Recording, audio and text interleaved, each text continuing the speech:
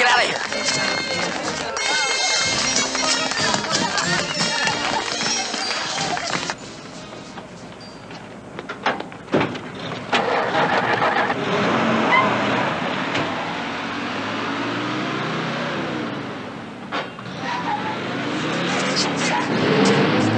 Not here, stupid. Come on. Yes. Now take it easy. You almost killed me before. Don't worry, boss. Don't worry.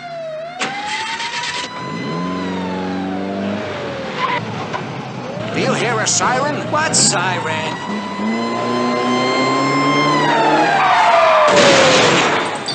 Why, you stupid. Don't worry about it, gentlemen. We got insurance.